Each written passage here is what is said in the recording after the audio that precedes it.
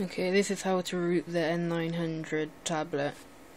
Not the Android, no, not the Nokia one, the Android one. From China. First, you go into system settings to make sure USB debugging's on by going to development or developer options and there should be a tick there and you should have your micro USB cable plugged in to your computer.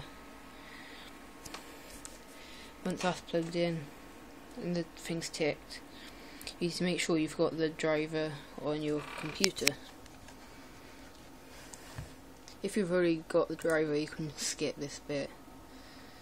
So, to get the driver, type in Device Manager,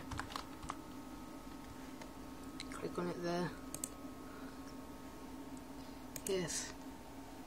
I've already got the driver, but for you, up there or somewhere will come up with something like Android or unknown with a little question mark by it.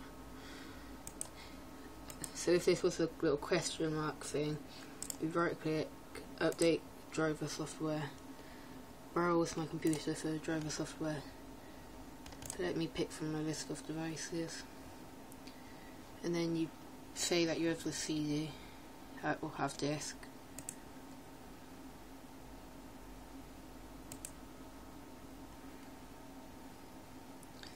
Then browse.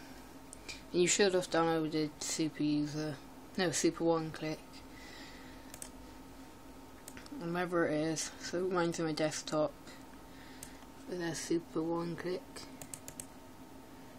Then you go into drivers and Android Win USB.inf. Let's double click that. Okay. Next. I'm gonna say yes anyway. Install anyway.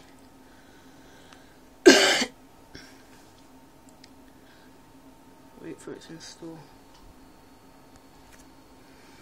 It might take quite a while to install the driver. Here it's done.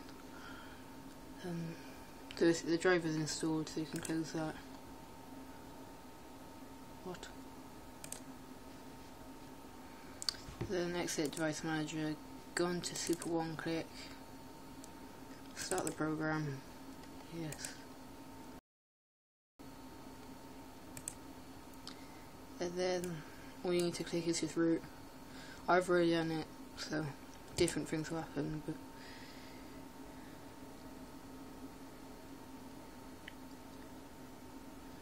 this is what should all come up.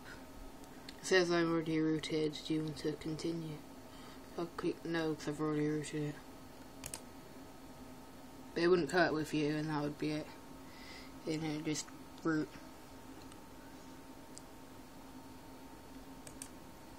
So that's how to root the N900 tablet, the Android one.